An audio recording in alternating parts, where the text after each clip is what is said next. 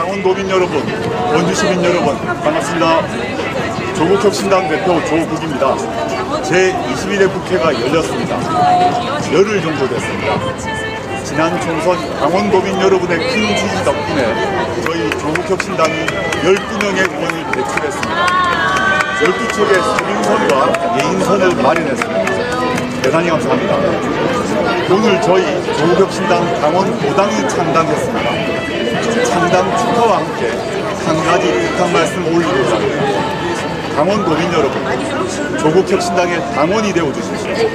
기왕이면 당비도 내어 주십시오. 정당을 운영하는 데에는 적지 않은 비용이 듭니다. 정치인과 정당이 돈 얘기를 하는 것은 참 쉽지 않은 일입니다. 그만큼 그동안 우리 정치가 국민의 신뢰를 얻지 못했기 때문에 정당이란 거대한 조직을 운영하는 데는 생각보다 많은 돈이 듭니다.